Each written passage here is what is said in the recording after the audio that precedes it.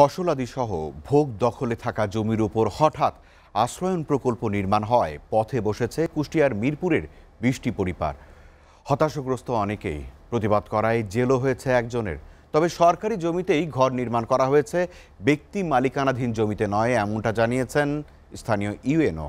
প্রয়োজন হলে জমি লিজ নিতে পারেন, এমন পরামর্শ দিয়েছে প্রশাসন ও সরকারি কৌশলী।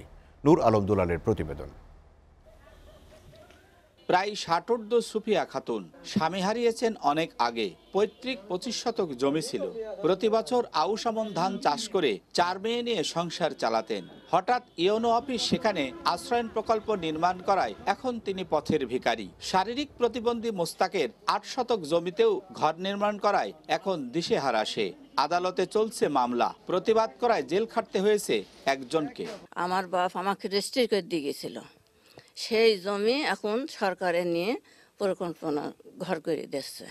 এখন আমার টাকাও দিইনি কোনো নোটিশও দিইনি কো আমি এখন পথের ফকির পথের ভিখারি হয়ে বসে আছি আমি এখন। আমাকে টাকা পয়সা দেয়নি আমাকে বললে জমি পার আর আসো না।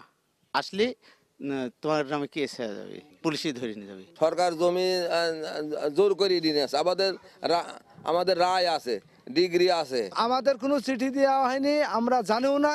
আমরা সরকারের বিরুদ্ধে মামলা করেছে।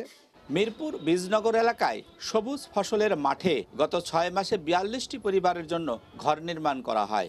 কোনো হটকারী সিদ্ধান্ত না নিয়ে সঠিক সম্মিলিত উদ্যোগের কথা জানান এই শিক্ষক।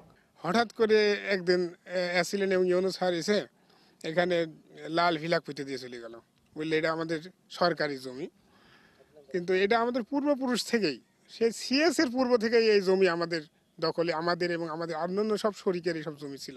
জোর করার প্রশ্নই ওঠে না। যারা তাদের জমি বলে দাবি করছে তাদের কোনো বৈধতা নেই। এসব বিষয়ে ক্যামেরায় কথা বলতে রাজি হননি উপজেলা নির্বাহী কর্মকর্তা। পরে মুঠোফোনে জানান এসব সরকারি সম্পত্তি। হচ্ছে যে জমির কথা আপনি বলছেন ওখানে তো মালিক বিয়াল্লিশ জন। বিয়াল্লিশ জনের আমরা রেজিস্ট্রি করে দিয়েছি সব। সরকার ওটা বিয়াল্লিশ জনকে ঘর করে দিয়েছে জমির মালিকানা হস্তান্তর করেছে। ওনার ওনাদের দাবিটা সঠিক না।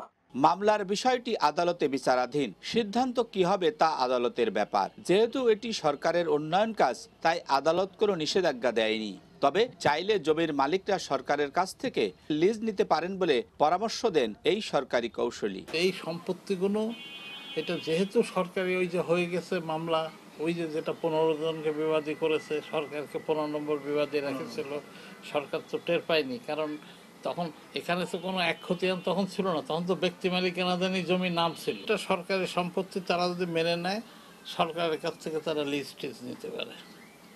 এটা আমার ধারণা এটা দেবে কিনা সেটা কর্তৃপক্ষ জানে। অসহায় ভূমিহীন মানুষের জন্য সরকারের আশ্রয়ন প্রকল্প ভালো উদ্যোগ। তবে সাধারণ মানুষ যেন ক্ষতিগ্রস্ত না হয় সে বিষয়টিও নজর দেওয়ার প্রয়োজন বলে মনে করেন সচেতন মহল। Nur Alam Dulal S A TV Kushtia. প্রিয় দর্শক, জাতীয় এবং আন্তর্জাতিক সব ধরনের সংবাদ জানতে ভিজিট করুন এসএ টিভির ওয়েবসাইট www.satv.tv বিনোদনমূলক অনুষ্ঠান উপভোগ করতে সাবস্ক্রাইব করুন আমাদের ইউটিউব চ্যানেল। youtube.com/satvbd যেখানে নিয়মিত কমেন্ট করে জানাতে পারেন আপনাদের মূল্যবান মতামত। এসএ টিভির বাছাইকৃত সংবাদ দেখতে ভিজিট করুন youtube.com/satvnews-এ প্রতি মুহূর্তের সর্বশেষ তথ্য পেতে লাইক দিয়ে সংযুক্ত থাকুন আমাদের ফেসবুক পেজে facebook.com/satvnewsbd এসএ টেলিভিশন সাথে আছি সব সময়